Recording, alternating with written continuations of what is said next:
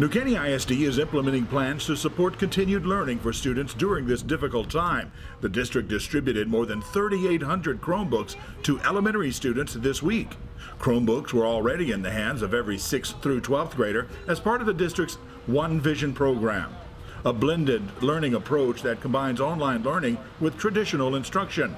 While school buildings are closed, students will continue to be able to access instructional resources and communicate with teachers using the district's online learning management system called Canvas. Students are also able to pick up print-based instructional resources as the district continues to work to meet the needs of students and families.